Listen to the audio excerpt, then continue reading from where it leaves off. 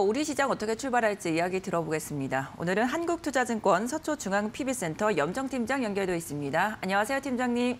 네, 안녕하세요. 네, 오늘 시장 어떻게 전망하고 계십니까? 네, 우리 시장 어제에 이어서 오늘도 상승 출발을 좀 예- 전망을 하고 있습니다.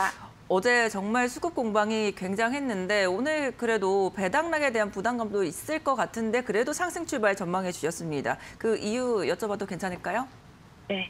어, 뭐 일단은 어제 같은 경우에는 이제 개인들이 뭐 코스- 코스피 코스닥 양시장에서 3조 원 규모의 사실 대규모 매도가 이어졌고요. 어, 그럼에도 불구하고 외국인 기관은 뭐 계속해서 12월 들어서 순 매수를 좀 이어가고 있습니다.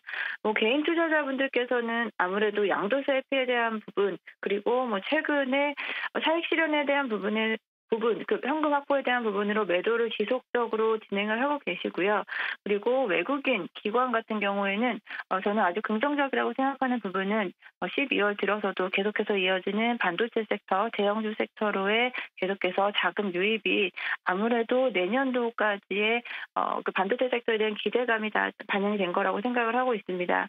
어, 국내 같은 경우에는 코로나 확산세가 다소 좀 주춤하고 있다 감소세에 대한 부분으로 전환이 됐기 때문에 어, 뭐 개인 투자자들이 아무래도 이제 양도세라든지 그런 차익 실현에 대한 욕구가 좀 있음에도 불구하고 어, 투자 심리가 조금은 좀 완화될 수 있는 분위기가 좀 연출되지 않을까라고 생각을 하고요.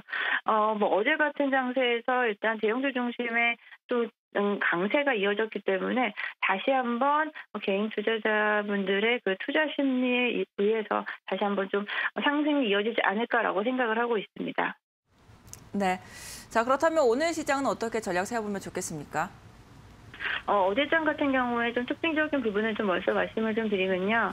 어, 최근에 좀 무게가, 어, 무게감이 있는 종목들이 좀 조정이 깊었습니다. 특히 2차 전지가 반등을 좀 줬는데요. 어, 특히나 이제 2차 전지 대장주인 에코프로, LNF 등이요. 8에서 9%대 급등을 보여주면서 아주 긍정적인 부분을 어, 연, 어, 보여주고 있는데요.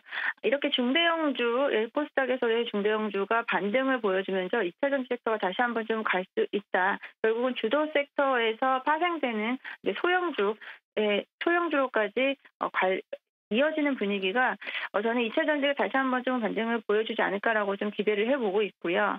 어, 그리고 최근에 이제 기관들의 좀 수급이 좀 많이 몰렸었습니다.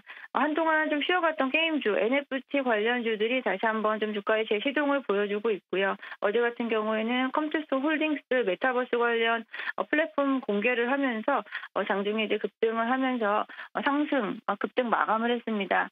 어, 지금 내년도에 대한 그 섹터에 대한 기대감이 또 이제 게임즈 쪽으로도 계속 몰려들고 있는 데요.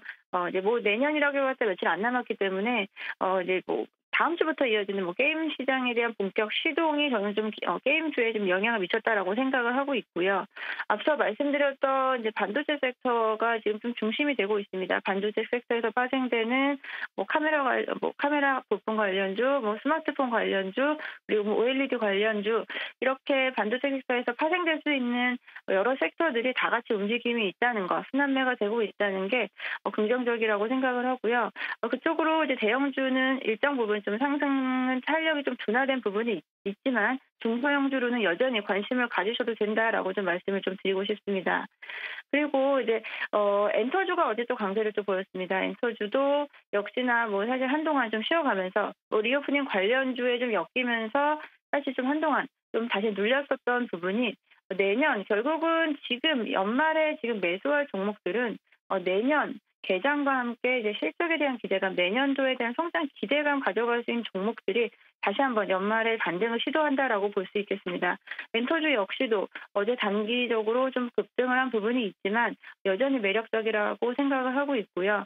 어, 최근에 이제 눌렸었던 이제 주도 섹터들이 다시 한번 어제 움직임이 나타났다는 부분을 봤을 때 결국은 지금 내년도에 대한 기대감으로 연말에 오늘 내일 매수하실 종목으로 선택하신다면은 어, 올해 주도했던 종목들 중에서 많이 좀 눌려 있었던 종목 중심으로 다시 한번 체크해 보시면 좋을 것 같습니다. 네, 오늘 말씀도 감사합니다. 네, 감사합니다.